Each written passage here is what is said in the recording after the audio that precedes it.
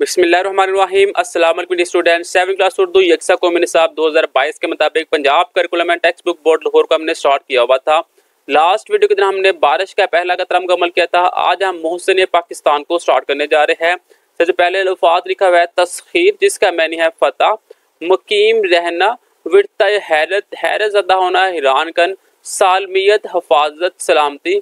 अदम, गैर नाबिल नेक्स्ट मुश्किल फाज के मैंने दिया है। यहाँ पे अल्फाज है और नेक्स्ट इसके मैनी है। मोहसन एहसान करने वाला, पाइंदा हमेशा रहने वाला, नाकबिल तस्खीर जिसे फतह ना किया जा सके।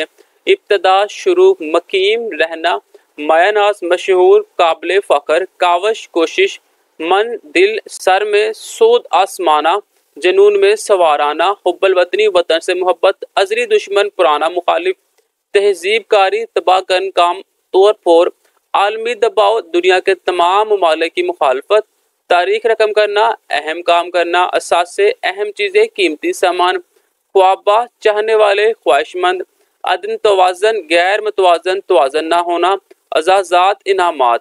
अलविदा, खुदा हाफिज, सोगवार, गमजदा, मादरी ज़ुबान, नसरी ज़ुबान आबाई ज़ुबान, क्याम, कायम होना, हिजरत एक जगह छोड़कर दूसरी जगह जाना लगभग तकरीबन शमूलियत शामिल होना, कलील मुख्तर लगन, शोक, बेपना, अकीदा, बहुत ज़्यादा एहतराम, दफ़ा, हिफाजत, एक आँख ना बहाना अच्छा ना लगना, सालमियत, सलामती, अमंगो, अमीदो, बावर करवाना, याद दिलाना, जारहियत डरना जगरना फरामोश बुलाना। क्लासा लिखा हुआ है, डॉक्टर अब्दुल कदीर खान हमारे मौसन है, जिन्होंने पाकिस्तान को एटमी ताकत बनाया और पाकिस्तान को दुनिया में नाकबिल तस्खीर बना दिया। आप यकम अप्रैल 1932 को भोपाल में पैदा हुए। उर्दू आपकी मादरी जबान थी, कि में पाकिस्तान के बाद आप और आपका खानदान हिजरत करके पाकिस्तान आ गया। आपने मगरबी बर्लन, जर्मनी की टेक्निकल यूनिवर्सिटी हाईलैंड नैदरलैंड और बेल्जियम की यूनिवर्सिटी से तलीम हासिल की। आप तकरीबन पंद्रह वर्ष यूरोप में मुकीम रहे। आपने हाईलैंड से मास्टर ऑफ़ साइंस और बेल्जियम से इंजीनियरिंग में डॉक्टरियत की डिग्री हासिल की। आपने उन्नीस सौ छिहत्तर में वजी अजम पाकिस्तान के दावत पर मुल्क के एडमी प्रोग्राम इंजीनियरिंग रिसर्च लेबॉर्ट्री में शमूलियत इख्तियार की डॉक्टर अब्दुल खान ने एक मायनाज साइंसदान थे। आपने आठ साल की मुद्दत में एटमी प्लांट नस्ब कर लिया। उन्होंने अपने वतन को एटमी ताकत बनाकर दम लिया। आप पाकिस्तान से बेपनाह मोहब्बत करते थे। मई उन्नीस सौ अठानवे को भारत ने एटमी धमाका करके पाकिस्तान की सालमियत के लिए खतरे का सिग्नल दे दिया। दुश्मन को जवाब देने का दबाव बाहर था। बेरखर पाकिस्तान ने 28 मई उन्नीस को भारत के मुकाबले में कामयाब एटमी तजर्बात करके पाकिस्तान के वाम की तरफ़ से तारीख रकम कर दी। ये तजर्बात बलूचिस्तान के जिला चागी के पहाड़ों में किए गए। इस वाक़े की याद में हर साल अट्ठाईस मई को योम तकबीर मनाया जाता है। सऊदी वज़ीर अजम ने डॉक्टर अब्दुल खान को इस्लामी दुनिया का हीरो करार दिया। पाकिस्तान के इदारों ने दुनिया की मुखालफत पर यह बात बावर कराई कि हम एक आज़ाद कौम है। इन इकदाम के हौसले में सरकारी आज़ाद हलाल इम्तियाज़ और निशान इम्तियाज़ से नवाजा गया। डॉक्टर अब्दुलकदीर खान दस अक्टूबर 2021 को इस दार फानी को अलविदा कह गए। इनकी नमाज़ जनाजा फैसल मद इस्लामाबाद में अदा की गई। अल्लाह ताला इन्हें जन्नतफरदोस में अला मुकाम अता फरमाए। ज़िंदा कौमें अपने मौसमों को हमेशा याद रखती है। हम भी डॉक्टर अब्दुल खान की इन खदमात को कभी फरामोश नहीं करेंगे। मेरे पास नेक्स्ट सवाल के मुख्य जवाब बात है। डॉक्टर अब्दुल कदीर खान कब और कहाँ पैदा हुए। अब्दुल कदीर खान यकम अप्रैल उन्नीस चौंतीस को भोपाल में पैदा हुए। डॉक्टर अब्दुल कदीर खान ने पाकिस्तान के दफ़ा में क्या करदार अदा किया? डॉक्टर अब्दुल कदीर खान ने पाकिस्तान को एटमी ताकत बनाने में कलीदी करदार अदा किया और पाकिस्तान को दुनिया के लिए नाकबिल तस्खीर बना दिया। डॉक्टर अब्दुल कदीर खान के नाम से कौन सी लेबार्ट्री मनसूब है? डॉक्टर अब्दुल कदीर खान के नाम से डॉक्टर ए के खान रिसर्च लेबार्ट्री मनसूब है। डॉक्टर अब्दुल खां के दिल में किस चीज़ का सौदा समाया हुआ था? डॉक्टर अब्दुल खां के दिल में एक ही गई थी और सर में एक सौदा समाया हुआ था कि वतन अज़ीज़ को ऐसी ताकत मिलकर नाकबिल तस्खीर बनाता है। पाकिस्तान ने किस साल और कहा एटमी धमाके की है? पाकिस्तान ने 28 मई उन्नीस सौ अठानवे को भारत के मुकाबले में कामयाब एटमी तजर्बात करके तरीक रकम कर दी। ये तजर्बात बलोचिस्तान के जिला चाकी के पहाड़ी इलाकों में किए गए। योम तकबीर का तकबीर का मनाया जाता है अट्ठाईस मई को हर साल योम तकबीर के तौर पर मनाया जाता है। नेक्स्ट, दर्ज सवाल के मुफसल अपने जवाब देना है, पाकिस्तान के लिए एटमी ताकत हासिल करना क्यों ज़रूरी था?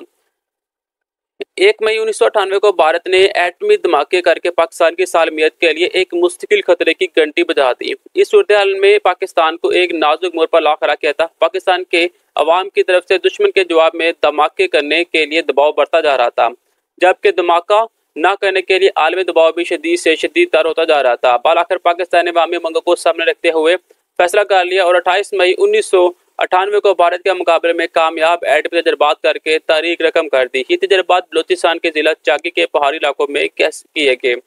इस मौका पर डॉक्टर अब्दुल खान ने मुल्क दौर से मुल्क दौर से मुखातिब होते हुए अपना पैगामी अल्फाज में पेश किया। हमने पाकिस्तान का दफ़ा नाकबले तस्खीर बना दिया है। किसी मुल्क के लिए दफाई तौर पर मज़बूत होना क्यों ज़रूरी है? किसी मुल्क के लिए दफाई तौर पर मज़बूत होना बहुत ज़रूरी है ताकि मुल्क पर मुखालफ कुतों की तरफ़ से हमले न हो। कोई मुल्क को कमज़ोर समझ कर इस पर कब्जा करने की कोशिश ना करे। दर्ज झैल अल्फाज को जुमले में इस तरह इस्तेमाल करें कि इनके मानी वाजह हो जाए शख्सियत डॉक्टर अब्दुल कदीर खान दुनिया की अहम शख्सियत में से एक है।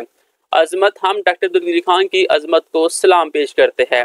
हिजरत, हमारा खानदान हिजरत करके पाकिस्तान आया। कोशा हम अपने वतन की तरक्की के लिए कोशा है। रंग लाना मेहनत ज़रूर रंग लाती है। मुकीम, डॉक्टर अब्दुल कदीर खान पंद्रह साल यूरोप में मुकीम रहे। गठन, हमारा मुल्क गठन दौर से गुजर रहा है।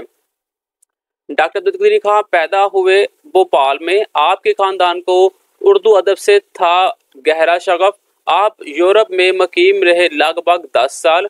डॉक्टर अब्दुल खान ने केमिकल इंजीनियरिंग में डॉक्टरी की डिग्री हासिल की बेल्जियम से। रिसर्च लेबॉर्ट्री का नाम बदल कर रख दिया गया। A Q Khan research laboratory. Bharat ने एटमी धमाके की है ग्यारह एक मई उन्नीस सौ अठानवे को। पाकिस्तान ने एटमी धमाके किए 28 जून 28 मई उन्नीस सौ अट्ठानवे को ऑप्शन नंबर जो ए है, वो दुरुस्त जवाब है। नेक्स्ट जी, अराब लगाकर अपने दुरुस्त से तलफ़ वादा करना है। बरअक्स, यहाँ पे बरअक्स लिखा हुआ है तो तक तरद इल्तिजा, हकारत, हिमायत, हादसा। नेक्स्ट है, दर्ज भारत में तशबीहात और इश्तारे पहचान कर अलग अलग लिखे और इन्हें अपने जुमलों में इस्तेमाल करें। मेला लाल चाँद की तरह खूबसूरत और शेर की तरह बहादुर है। वह शहद की तरह मीठे लहजे में बात करता है, मगर दरेरी में वो शेर है, बिल्कुल शेर। तशबिया जो लिखी हुई है, वो है चाँद की तरह खूबसूरत, शेर की तरह बहादुर, शहद की तरह मीठा। जुमला जो लिखा हुआ है, मेरा बेटा चाँद की तरह खूबसूरत है, हमारे फौजी शेर की तरह बहादुर है, मेरा उस्ताद लहजा, मेरे उस्ताद का लहजा शहद की तरह मीठा है। इस इस्तारा है, दिलेर में शेर है। जुमला है, अज़ीज़ भट्टी शहीद, दिलेरी में शेर था, बिल्कुल शेर। साबका और लाभका साबका क्या होता है? हरूफ या हरफ का वो मजमुआ जो किसी बामैनी हरफ के शुरू में लगाने से एक नया लफज बाँध जाए साबका कहलाता है। और जो बाद में लगे उसे हम लाहका कहते हैं। यहाँ पे साबका दिया गया है ना ना नादान नालायक बा बादब बातमीज बे बेकार, बेजार। अन अन पर अनदेखा हम हम उमर, हम राज। ला के दिया हुआ बान, मेहरबान, मेजबान, दान, गुलदान निमकदान गार खिदमतगार खताबगार दार, पहरेदार, चौकीदार गर कारीगर, जादूगर। नेक्स्ट मेरे पास मुहावरे लिखे हुए अपने जुमले इसके बनाने हैं। अब अब होना, आपने रियाजी के नंबर देकर नसर शर्म के मारे अब अब हो गया। आग बगोला होना छोटी छोटी बातों पर आग बगोला नहीं होना चाहिए। उम्मीद बार आना, फ़सलों की पैदावार देकर किसान की उम्मीद बार रही। उकता जाना एक ही काम करके किसान को उकता जाता है। बेपर की उड़ाना असलम हर वक्त बेपर की उड़ाता रहता है। बात का बतंगर बनाना, आमना ने छोटी सी बात का बतंगर बना लिया। नेक्स्ट है जी, गलत फ़िक्र लिखे हुए आपने से दुरुस्त बताने हैं। आज शब बारात की रात है, आज शब बारात है। उसने मुझको पूछा है, उसने मुझसे पूछा है। उसकी कलम टूट गई, उसका कलम टूट गया। दर हकीकत में आप सच्चे हैं, दर हकीकत आप सच्चे हैं। बारिश बरस रही है, बारिश हो रही है। मतजदर पैराग्राफ की अपने तलखीस करनी है। पैराग्राफ दिया गया है हक के रास्ते पर चलना किसी पहाड़ पर चढ़ने की तरह होता है। हर कदम उठाने के लिए बहुत हिम्मत करने, बहुत जान लगाने और बहुत बढ़ती सी आजमाइश से गुजरने की है।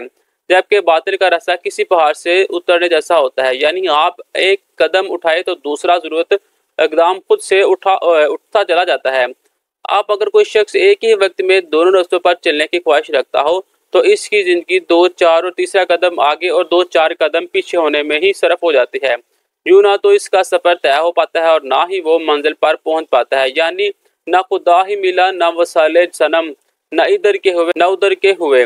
दिल में हमारे ये रंजे आलम, न इधर के हुए, न उधर के। यहाँ पे तलखीज हुई हक के रास्ते पर चलना दशवार गुजार और आजमाइशों से पर होता है। जबकि बातिल का रास्ता आसान होता है। एक ही वक्त में दोनों रास्तों पर नहीं चला जा सकता, क्योंकि इससे ना तो सफ़र तय होता है और ना मंजर मिलती है। इंसान इधर का रहता है, ना उधर का। नेक्स्ट सोचिए और बताए, पहला सवाल है, डॉक्टर अब्दुल खां के बारे में आप क्या जानते हैं? डॉक्टर अब्दुल खां एक मुहब वतन साइंसदान थे। आपने मुल्क के दफ़ा के लिए एटम बम बनाया। योम तकबीर काबुर क्यों मनाया जाता है? योम तकबीर अट्ठाईस मई को मनाया जाता है, क्योंकि इस दिन पाकिस्तान ने कामयाब एटमी धमाके किए। ठहरे और बताए पाकिस्तान की सलामती कब खतरे से दो चार हुई।